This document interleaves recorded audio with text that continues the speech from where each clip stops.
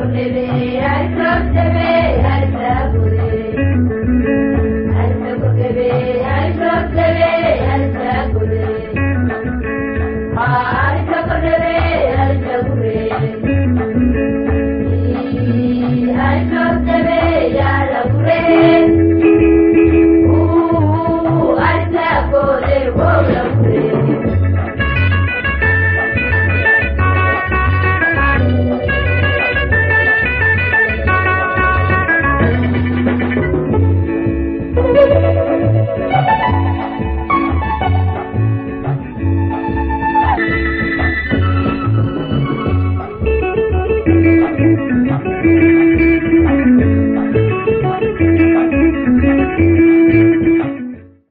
Welcome to our class, mathematics class.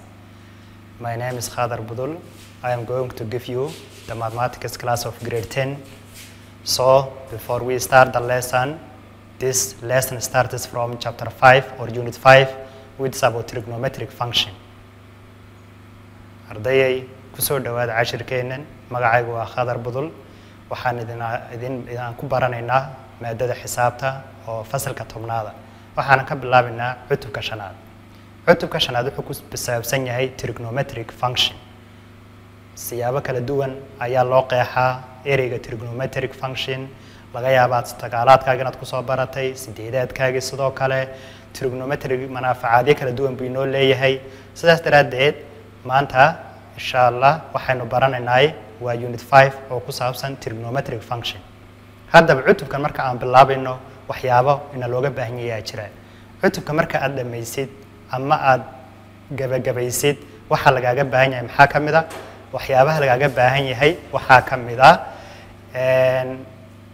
waa inaad awood u yeelato kow no principles and methods for sketching graph of trigonometric functions. Trigonometrio trigonometric wuxuu leeyahay fansaaro badan functionno badan waxaa lagaaga baahan yahay cutubkan marka aad gabagabaysid ee aad baratid in aad hee graafyada fansaaradaas ama trigonometric functionska aad sawiri kartid aan dabeecadooga aad sheegi kartid. Waxaa kaloo lagaaga baahan yahay understand important factors important factors about reciprocal of basic trigonometric functions. Waxaan cutubkan u kala qaadi doonaa trigonometriyada aan baranayno laba qaybood basic trigonometric functions iyo reciprocal trigonometric functions kolka basiga trigonometric functionska maahine kuwan kale ee reciprocal trigonometric functions ama kuwa rogaalka ah in aad hee garatid waxyaabaha gaarka u ah calaamadaha u ah astaamaha u ah inaad garatid ayaa lagaa rabaa. Waxaa kaloo lagaa rabaa cutubkan marka uu dhammaado identify trigonometric identities. In aad kala soocdid ama aad kala saartid astaamaha ama midaalada trigonometriga sidoo kale inaad kala soocdid ayaa lagaga baahan yahay. Cutubka markaad dhammaysid waxaa kaloona looga baahan yahay the other objective that is needed in this chapter when you finish is what? To solve real life problems or real life problems that are related to our daily life which, which are related also to trigonometric functions. In aad xallisid masalooyinka nolol maalmeedkeena ku salaysan ee la xidhiidha trigonometriga. Xisaabtu maaha un u geeyo ku dhufaya ka jar un u qayb un maaha waanu dheganaynaa cashirkan trigonometriga cutubkan halkeebu seebu ula xidhiidhaa seebu saameyn ugu leeyahay nolol maalmeedkeeni. Waxyaabahaas ayaa lagaga baahan yahay. Hadda waxaynu bilaabaynaa waxyaabihiina looga baahnaa haddaynu sidaa ku ogaano waxaan bilaabaynaa cashirkeenna oo uu ka bilaabmaya basic trigonometric functions basic trigonometric functions. Waa aas-aaska ama faansaarada trigonometria aas-aaska. Waxuu trigonometrigu leeyahay faansaaro gaar u ah oo bilow u ah aas-aas u ah. Inta kalena kuwaasun bay ku salaysan yihiin ay ku xidhan yihiin haddii aad kuwan fahantid basic trigonometric functionskan inta kalena waad fahmaysaa ka dhigan tahay. Kolkaa ardayow si fiican ugu fiirso.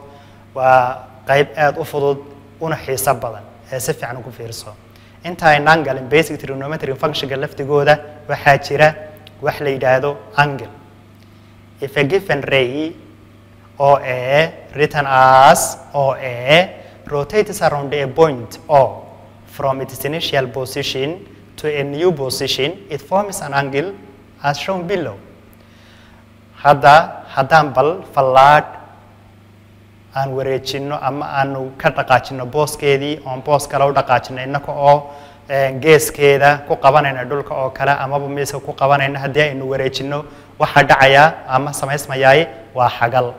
Waxaa kalood ku soo taqaanay dugsigaagii hoose ama sideedaadkaagiiba dugsigaagii dhexe inay xagal ay sameeyaan laba fallaadhood oo leh barkulan. Kolkaa xagashii aye wey xagashu waxay leedahay laba dhinac. Labada dhinac dhinac waxaa la yidhaahdaa barbilow ama dhinacii ka bilaabmaysay xagashu dhaqaaqeedaan ka bilownay iyo dhinac ay ku dhammaanayso bardhammaad oo kale ah terminal position iyo initial position. Barta ay ku kulmaana laba labada fallaadhood amaba labada dhinac ee xagashana waxaa la yidhaahdaa fartagas ama geeska xagasha. Sidaa hadda inooga muuqataa shax sawirkan oo kale barta o ama geeska ayaa la odhanayaa o. Sidoo kale o a oo kale waxaa la odhanayaa initial position ama barbilowgii weeye fallaadha ku dhex jirta labada fallaadhood labada xagle labada fallaadhood dhexdooda inta yare ku dhex jirtaa ayaa inoo tilmaamaysa dhinacay ka dhaqaaqday iyo dhinacay ku dhammaatay. Kolka o a waa initial side sidoo kale o b is called terminal side of the angle. Waxaa loogu yeedhaa o b na he bardhammaadkii waa xaggay xagasha ku dhammaanaysay terminal side soo xagashu maxay leedahay? Saddex qaybood. Saddexdaa qaybood oo kale ah fartagis waa bartii ay ku kulmayeen. Bartay ka dhaqaaqaysa xagashu aan ka wareejinaynay ama fallaadhu oo la yidhaahdo initial position ama initial side iyo barta ay ku istaagto xagasha oo la yidhaahdo terminal side. Ardayay si fiican ugu fiirsada qaybtan. Look carefully this part. This is the most important point. Haddaynu intan aynu fahanno qaybaha kale oo dhanna waynu fahmaynaa laakiin haddii halkan waxay nagaga lumaan oo qayb ay dhaafto ama waxayn waxba ka fahmi weyno qaybaheena dambana way adkaanayaan. Hadda bal waxaan eegaynaa xaglaha waxaa jira kuwa positive kuwa negativeba angles can be negative or positive? Based on their direction of rotation. Xagashi hadda waxaynu aragnay inay laba meelood leedahay barbilow iyo bardhammaad innakoo eegayna xagashu dhinacay u wareegayso ama dhinacay u socoto jihadeeda waxaynu odhanaynaa xaglaha u kala qaadana laba qaybood oo kale ah positive angle as well as negative angle angles can be what positive or negative based on the direction of rotation dhinacay u wareegaysa ama dhinacay u socoto innakoo eegayna xaglaha labadaasan u kala qaadaynaa positive angle as well as negative angle haddaba kuwa negative angleska la yidhaha waa kuwii maxaa lagu gartaa maxay yihiin waa sidee negative markaan leenahay waa kuwii tabana if it is rotated clockwise direction then the angle is called what negative angle an angle we know the clock the direction of the clock if it is the same with the direction of the clock it is called what negative angle and xaglaha aan odhanaynahay waa negative angle amaba waa xagal taban aan odhanaynahay waa xagasha jihadeedu ay tahay jihada ay saacadda u wareegto oo kale saacadda bal eega ta guryaha oo kale ku idinku dhejisan amaba tiina aad gacanta ku xidhan tihiinba dhinacay u wareegtaa haddii marka aad xagashaad eegtid ay la mid tahay jihadeedu jihadii ay saacadda u wareegaysay xagashaas waa xagal taban weeye waa xagal negative.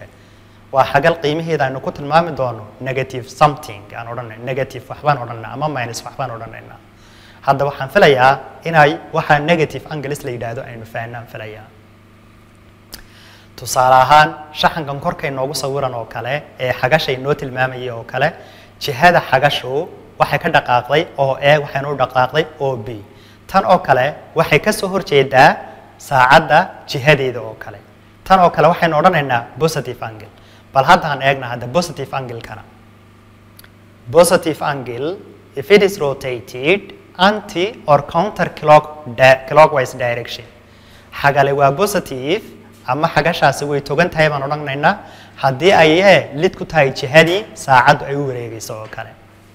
Waase laba laba siyaabood oo fudud oon ku ogaan karno inay xagashu tahay positive iyo negative. Markaan leenahay waa positive waa inay lid ku noqotaa saacadda jihadeeda saacaddu jihada u wareegaysa waa inay lid ku noqotaa. Hadda bal aynu eegna hadda oo waxaad isku dayaysaan bal tijaabadii koowaad ama activity one you will try this activity. Haddii aad fahanteen arday kastooba isku taxalluuji inaad ka shaqayso adigoo isticmaalaya waqtiga lagugu talagalay by indicating the initial and terminal side differentiate the flowing angles as a positive or negative angles. Now you will try you will be given angles. That angles you will say it is positive it is negative. You will differentiate them. The first angle is angle beta angle beta. The second angle is angle gamma. The second the third angle is what? Angle delta. So differentiate these angles as a positive and a negative. By indicating what? Their initial and a terminal. Waayo haddaad garatay barbilowga iyo bardhamaadku waxaad garatay jihadii baad garatay jihadii ay u socotay xagashani inay lid ku tahay tii saacadda iyo inay la jiha tahay tii try well i am waiting you. So try well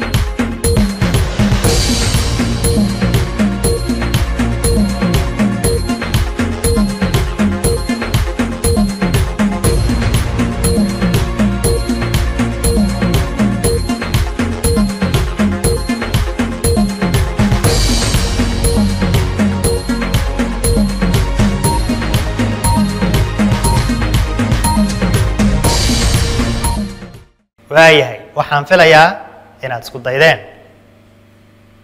okay? Now let us see the solution of these questions. I hope that you have already tried and you got the correct answers. For example for example angle beta is a negative angle with initial side oa and terminal side. This. So angle beta waa negative angle. Waa xagal taban dhinac bilowgeedu uu yahay bar bilowgeedu uu yahay oo b bardhamaadkeeduna yahay oo e sidoo kale xagasha gama waa xagal positive is a positive angle with initial side oq and terminal side ob i hope that you got this point isn't it? Okay very good. The third angle delta is a positive angle with initial side om and terminal side on give special attention. If you know the initial and the terminal, you already got the direction which the angle rotates.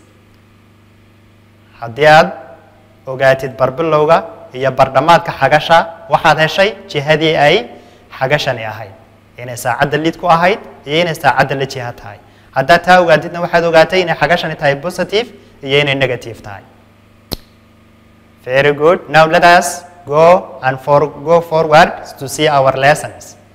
Now let us come to the point an angle or angles in standard position. Hadda waxaynu bilaabaynaa qaybtan labaad oo ku saabsan angles in standard position. Angilada siyaabo kala duwan ayaa loo sawiri karaa angilada qaar waxaa lagu sawiri karaa xaglaha dhidibadii egas iyo y dushooda lagu sawiri karaa kolka angles in standard position wax ay in an eegno an angle in the coordinate plane is in standard position if it is vertex is at the origin and it is initial side is along the positive x axis. So I hope it is clear. We should have to digest this and understand this statement. At what time can we say an angle is the standard position when it satisfies this condition? What is that condition? It is vertex must be at origin. Again, what? It is initial side must be along the positive x axis. xagal waxaan odhan karnaa waa it is in standard position sidii caadiga ahayd ayaa u taallaa ama loogu loo sawiray ama loogu muujiyey goorma marka ay hal laba wax suuro geliso kow geeska xagasha waa inuu ahaadaa bar asalka ama bar kulanka labada dhidib ee egas iyo y sidoo kale dhinac bilowga ama initial side waa inuu ahaadaa egas axiga positive egas axiga sidaad sidaan ogsoonahay dhidib dhidibka egas iyo y wuu iskala qaybiya wuxuuna isku kala qaybiyaa laba qaybood. Qaybta positiveka ama qaybta togan waa inuu noqdaa initialku barbilowga xagashu sidoo kale barxudunka labadaa dhidibna waa inay noqotaa geeskii xagasha. Hadday intaa laga helo xagashii waxaan this angle is in standard position if it satisfies that conditions now let us see this. Let us see an example. All of the flowing angles are in standard position. Give them special attention, look them whether they satisfy the given two conditions. To say an angle is standard position. Si fiican u eeg tusaalayaashan u fiirso wixii lagu lahaa way ku noqonaysaa xagashani xagal an standard position. Bal fobi. Okay, the first one is this. The second one, look, the initial is the positive x axis, the terminal is in the second quadrant, we may say. Also, the vertex is on the origin. Okay, kuwan kale sidoo kale, all of them are what? They satisfy that condition. Afarta xaglood ee bartan lagu sawirayba dhammaantood maxayna tusinayaan inay positive x axigu uu yahay initialkii inuu vertexku yahay originka dhammaan angilada noocan oo kalea maxaynu ugu yeeraynaa they are angles standard position. Maasha allah now let us see angles are also named by the quadrant they belong to. Angles xaglaha waxaa lagu magacaabaa waaxaha labada dhidib ee iyo y. Labada dhidib ee iyo y waxay isu qaybshaan afar waaxood. Quadrant one quadrant two quadrant three quadrant four angles are named based on that when they are in standard position. Terminal side kon baan eeganaynaa xagashan bardhamaadkeedu waa halkee halkee buu ku dhammaadaa ma waaxda koowaad buu ku dhammaadaa ma talabaad buu ku dhammaadaa bardhamaadku amaba dhinac dhammaadka xagashu waaxda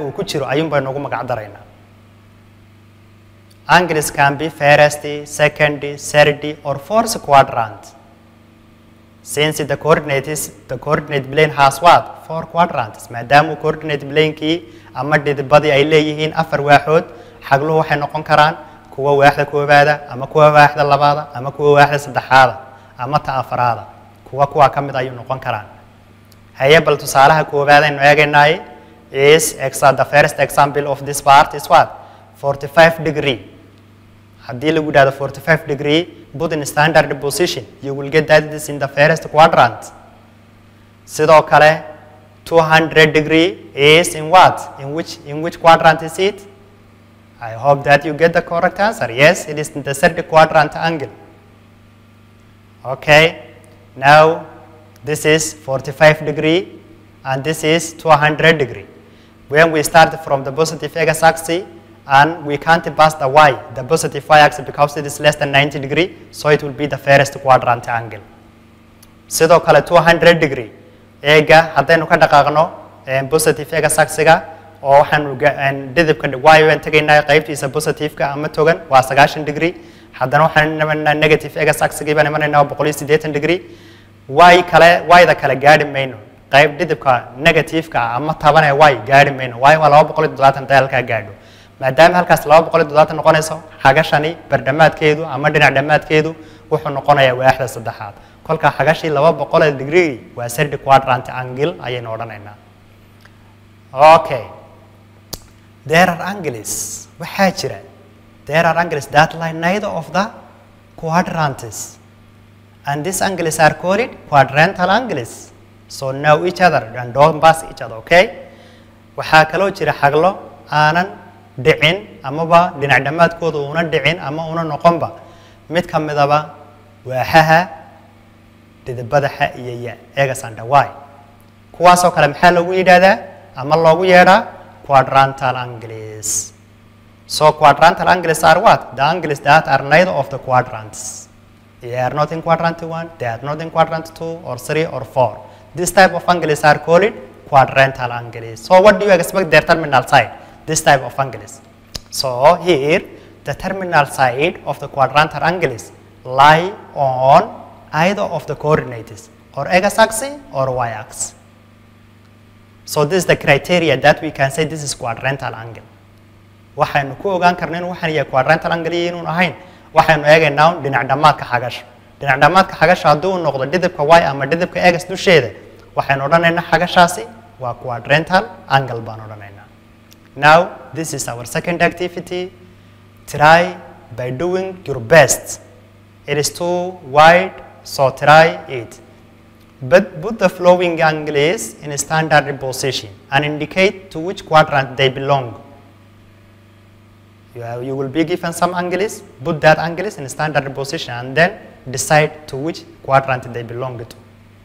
The first angle is 240 degree, the second is 350 degree, the third C is negative 180 degree, and the last one is 2 TDS, it is 1130 degree. So, try your best students. You have three minutes. I am sure that I will be proud of you by answering it. So, good luck.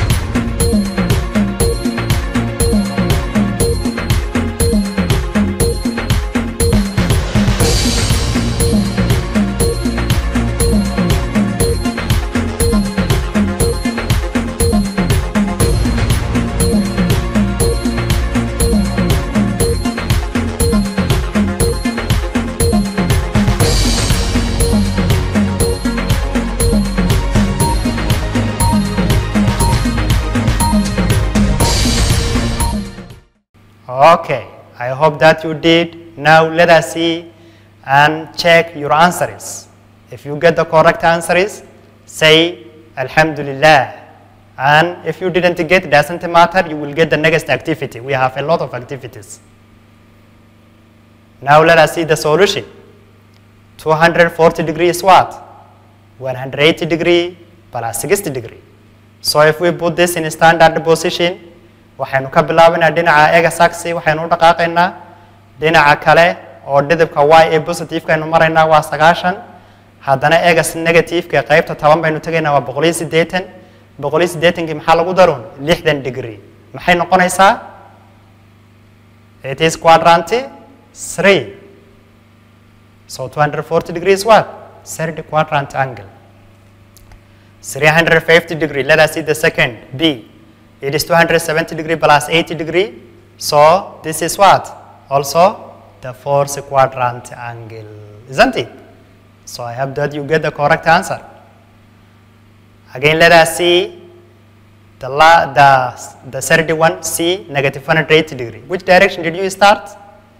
From the positive x-axis in quadrant 1 or the last quadrant 4 which direction you move it the direction you move it from is very important since the angle is negative so the direction of the angle is clockwise direction therefore it will move from fourth quadrant and go to the third quadrant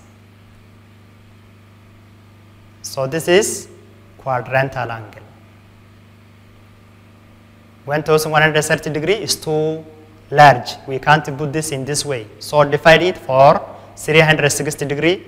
And when you divide for 360 degree, you may get 3 y's of 360 degree plus 50 degree. That means make how many complete revolutions? 3 complete revolutions. After that add 50 degree only. So this angle is first quadrant angle. If you look it, we have 3 revolutions, 3 circles then we will move it only what 50 degree. so you will get it inside the first quadrant so 300 1130 degree is first quadrant or it is quadrant 1 i hope that you get the correct answers. Okay now again it is a topic that you have learned in your grade 9 that is what? Radian measure of angles let us start this topic. Cashirkan aynu bilaabana haddana waa radian measure of angles xaglaha waxaa lagu cabiraa laba waxay leeyihiin laba halbeeg oo ah degree iyo radian waa kii aad soo taqaaneen ee haddaba. If the length of the arc s is s unities and the radius is r unities then theta is equal to what? The arc length is divided by the radius by looking at the figure. So let us see this example. eegaynaa ya find the angle theta in radians. If the length of s is equal to 3 centimeter and the r is 2 centimeter as shown below now it is clear and simple. Theta is equal to what? S divided by r. S is the length of the arc. It is 3 Again, the radius is 2, so it will be 3 over 2 or 1.5 radians. waa qaansada dherarkeedii oo loo qaybshay gacanka goobada ayaa la odhanayaa xagashi tita so tita waxay soo baxday 1.5 radian. Haye hadda sida la iskugu bedelo ayaan eegaynaa bal radianka sida loogu bedelo degree degreegana sida loogu bedelo radian kolley qaybtani waa hordhacba u tahay qaybaheenna kale ilaa hadda waxyaabahaynu soo aragnay maxay ahaayeen waxaan intii hadda ka hor yar naqaanan weeye oon wax ka naqaanay in yar weeye waxa lagu dara hadday jiraan to convert degrees into radians multiply by by over 180 degree haddii aad rabtid xagal degree ahaan lagugu siiyey inaad u beddeshay radian waxaa lagu siiyey on ku dhufo maxay by oo loo qeybshay boqol iyo siddeetan waxa kuu soo baxayna muxuu noqoni? Tiro la socdo halbeega radian waayahay tusaalaha koowaad ayaan eegaynaa of this. Convert the flowing into radians. Tusaalahan maxaynu u bedelaynaa xagal ayaa nala siinaya xagashaa nala siiyo ayaynu u bedelaynaa radian so a it is 180 degree boqol iyo siddeetan degree. Waa imise radian b lixdan degree waa imise radian so let us see. Si aynu u bedelo degree maxaynu nihi degreega aynu ugu bedelo radian ku dhufo by loos dhiga boqol iyo siddeetan degree. So it will become like this. 180 degree is equals to 180 degree times what? By over 180 degree. Now the degree will cancel the degree boqol iyo siddeetan kuna boqol iyo siddeetan ku la bixi maxay noo soo baxaya bartaas by oo quraata so 180 degree is equals to what by radians sometimes the radian is not indicated mararka qaarkood waxaa jirta mar laga taga radianka laakiin markaasoo kale waxaan u fahmaynaa doona degree una meesha inoola socono by oo quraat iska qoran tahay ee xagala laga sheekeynayo inuu cabirkeedu yahay ama halbeegeedu yahay radian inuu yahay baan u qaadanaynaa b oo kale maxay soo baxaysaa b oo kale lixdan degree waxaynu ku dhufanaynaa imisa by over 180 haye maxay soo baxaysaa lixdankii digreegii degree baad isku jari eberka eberkaad u saari lixda iyo siddeed iyo tobanka laftigooda isku saari maxay noo soo baxaya by over three radians hadda lixdan degree marka la bedelo radian loo bedelo maxay noqonaysaa by over three radians sidoo kale radianka waa loo bedeli karaa degree ahaa degree. When we want to convert radians into degrees multiply by 180 degree over by. Qiimaha radianka ay xagasha ee lagu siiyo ku dhufo boqol iyo siddeetan degree oo la hoos dhigay by. Kabacdi waxa intaa kaaga soo baxa muxuu noqonayaa? Wixii degree ahaanbu kuugu ayaad u bedeshay ka dhigan tahay so simple. It is revision for us i know that you was good in your grade 9 as well as in your grade what we call 8 okay now let us see some example based on this. Tusaalayaal balan eegna convert 5 by over 6 radians to degree. This is the last example of our class. So what do you think students will become? Though this example you can hope that you can answer you, you can try by, from the mind maskaxda bal iskaga daya inaynu ka jawaabno bal tusaalahan intaynan qorinba oo aanan anagu ka shaqaynba 5 by over 6 radians muxuu noqon karaa marka degree loo bedelo haye shukran waxaan eegna haddaba solution 5 by over 6 radians is equal to eh, 5 by over 6 waa intii lagu siiyey oo lagu dhuftay maxaynu ku dhufanna ardayay 180 degree over by markaynu isku dhufanna maxaa dhacaya? Bayd iyo baydo isla baxayaan. Lix baad u qaybin boqol iyo siddeetan. Maxaa kuu soo bixi? Soddon. Soddonka ku dhufoo shan waa boqol iyo konton degree. Waxaan filayaa inuu aad u dhib yaraa. Yahayna cashirkani cashir aad ku soo dhigateen fasalkiinii sagaalaad. Ardayay maanta cashirkeennii intaas ayuu ku soo koobmay intaas ayuu nagaga egyahay soo tiraay the other exercises in your text book.